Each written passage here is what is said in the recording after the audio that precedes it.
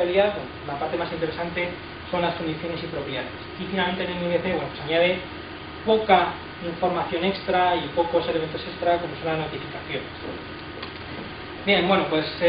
la idea de diseño educativo utilizando IMS Learning Design estaba orquestada como una metáfora teatral, más o menos al final lo que nos permite es eh, llevar a cabo eh, o diseñar eh, escenarios educativos en los que se planifican diversos elementos que se pueden llevar a cabo en paralelo o en secuencia, dependiendo de cómo esté de los elementos que utilicemos para crear nuestra, nuestra diseño educativo. Eh, como herramientas y sistemas que soportan IMSLD, pues hay numerosos sistemas que lo soportan. Eh, desde el punto de vista de herramientas de autoría tenemos bastantes, de hecho desde, su propia, desde la propia aparición del sistema o de especificación, perdón, eh, empezaron a surgir herramientas de muy diversos tipos. Y bueno, pues realmente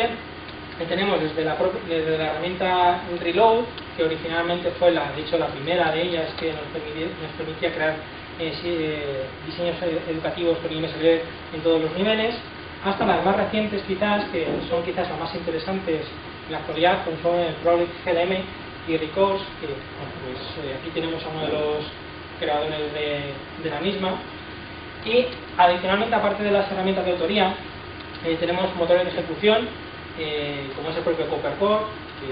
nos permite ejecutar estos diseños, y bueno, pues Grail y otros, otras iniciativas que también son, son eh, más o menos conocidas. Y bueno, los reproductores son al final los intérpretes, los interfaces que van a utilizar los actores que van, van a interactuar con las con las con los diseños educativos. Bueno, pues realmente la parte más interesante, aquí ya viene un poquito más despacio, las limitaciones de IMSBD son, son varias. Realmente eh, uno de los problemas que tenemos con IMSBD es la alta expresividad del lenguaje eh, y en gran parte debido a las mm, condiciones y propiedades que tenemos en el nivel. Realmente al final el nivel B es como un sistema de reglas y eh, realmente la literatura ya se ha investigado que realmente eh, tanto crear como mantener sistemas de reglas son complejos por personal técnico, con lo cual mantener y crear sistemas de reglas por personal no técnico como los profesores pues es todavía más complejo. Em, adicionalmente este tipo de esta especificación incluye no solo detalles a nivel educativo, sino además incluye detalles a nivel técnico y además que no están relacionados con el proceso de enseñanza per se, sino está pensado un poco con las plataformas que gestionan estos, esta certificación, con lo cual se complica un poco más el, el problema de uso de IMSLD. Y bueno, pues que inicialmente, si queremos utilizar la notación que se incluye en la especificación, que es la notación XML, pues realmente es bastante inmanejable cuando tenemos un diseño relativamente complejo. Además, bueno, pues aparte de estos problemas eh, eh, iniciales también tenemos un cierto problema en la propia especificación, pues realmente hay cierta una cierta inexactitud en, la propia especificación y bueno, pues realmente no hay una cierta formalización sobre todo de la semántica del lenguaje, con lo cual hay algún cierto problema y podemos tener problemas a la hora de crear herramientas, sobre todo que interpreten este lenguaje, porque mm, podemos no entender o cada uno puede entender cómo se debe implementar este elemento. Y por último, la falta, y quizás este es uno de los problemas más graves, es el que intentamos nosotros abordar, que es la falta de herramientas usables para crear estos diseños educativos. Suponiendo que conseguimos obviar los problemas anteriormente, eh, anteriormente descritos, si no tenemos herramientas simples, los profesores que hacen los usuarios finales de este tipo de lenguajes no lo van a utilizar. Por suerte, realmente las últimas aproximaciones de, este, de uso con IMSDB eh, intentan suplir estas carencias y como digo, bueno, pues realmente las aproximaciones de Prolex GDM y de Recurse y la nuestra propia intenta mitigar todos estos problemas de usabilidad del lenguaje. Bueno, pues eh, la motivación de nuestra, de nuestra aproximación es que, bueno, pues pese al potencial que tienen los MLs en general y en particular en MSDD, toda opción, bueno, pues está un poco mm, está eh, coartada por la necesidad, o mejor dicho, por la falta de herramientas usables para este tipo de lenguajes pero realmente consideramos, tanto nosotros como en la literatura, realmente se considera que el uso de estos MLs es interesante. Eh, porque pueden ser procesados automáticamente, y porque realmente tiene un vocabulario común que van a poder utilizar tanto profesores como eh, tecnólogos, y adicionalmente, bueno, pues realmente más o menos podemos ver que estos lenguajes permiten programar los LMS a personal que realmente no es un programador per se, sino que son los propios profesores. Bueno, pues objetivos concretos de nuestra, de nuestra aproximación. El primero es facilitar la adopción de los MLs. Eh, nuestra idea es acercar las eh, terminologías, la terminología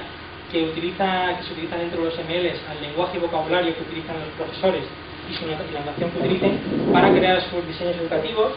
pero manteniendo la, digamos, la equivalencia o la compatibilidad con propuestas estándar como IMSLD. Y, eh, por otro lado, fomentar la reutilización de diseños educativos existentes. Inicialmente este es uno de los objetivos de los ML, pero si ya el proceso de autoría es complejo, quizás el proceso de reutilización es todavía un poco más complejo, porque realmente no solo hace falta, no vas a crear de cero esa, esa unidad de aprendizaje, sino que además, si partes de otra ya hecha, tienes que entender lo que realmente estás utilizando. ¿Vale?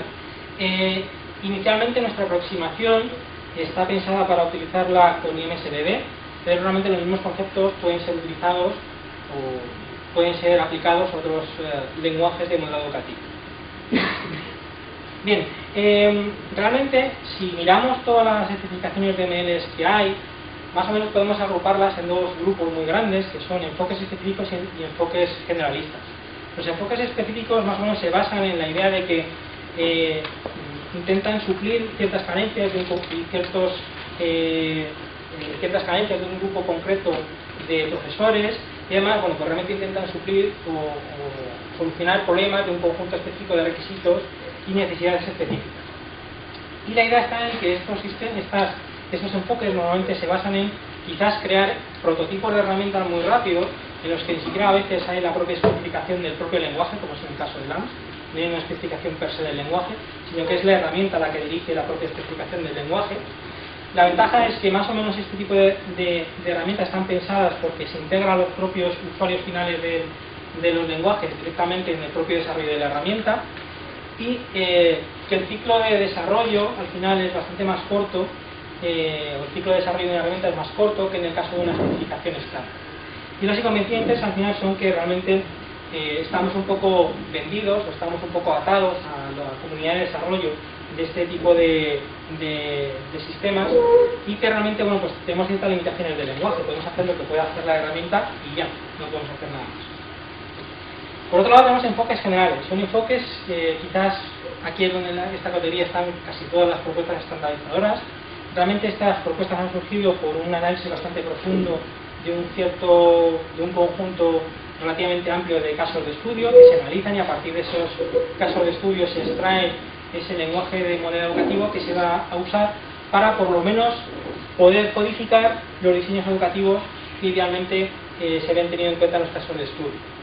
Eh, pero, por otro lado, eh, normalmente no solo tienen en cuenta las necesidades educativas, sino que realmente tienen en cuenta otro contexto.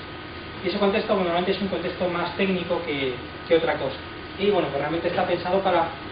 este uso de, o esta inclusión de esta parte técnica tiene que ver con facilitar la interoperabilidad. Bueno, pues únicamente la ventaja es que obviamente cubre un espectro más amplio de lenguajes y por tanto pues es más expresivo y pues la, versatilidad del lenguaje será mejor, pero eh, bueno, también tenemos una interoperabilidad aceptable, pero los inconvenientes al final va a ser la, la usabilidad del propio lenguaje. Obviamente cuanto más expresivo, más tenemos que saber el propio lenguaje y más complejo va a ser, va a ser de utilizar. Y los ciclos de, desarrollo de este tipo de lenguajes son bastante más amplios, porque realmente hay que esperar hasta que aparezca una nueva especificación, que realmente es un proceso bastante más, más tedioso. Curiosamente, ambas aproximaciones son interesantes. Realmente, por un lado tenemos una aproximación en la que se integra usuarios finales y tiene ciclos de vida más cortos, y por otro lado tenemos aproximaciones más generalistas que, digamos, nos atraen por la posibilidad de que, eh, como eh, fuerza de desarrollo nos concentremos en una parte del problema, ya sea la autoría, ya sea la solución o sea la integración de otras herramientas. Pues la idea quizás es integrar estas dos aproximaciones. Realmente lo que tenemos como objetivos concretos es intentar integrar a los profesores dentro del proceso de desarrollo de MLs específicos para la parte de autoría, bien, y eh, por otro lado promover el, uso de notaciones visuales para esta parte de autoría. ¿Vale? Quizás una carencia que existe en bastante de las propuestas originales que había era que quizás utilizaba una notación bastante tersa y quizás pues el, exponente más, más claro de, usabilidad y que realmente está utilizando la gente por, por lo fácil que es SLAMS y en parte es por culpa de por culpa, o el beneficio de su notación de su notación gráfica. Em, realmente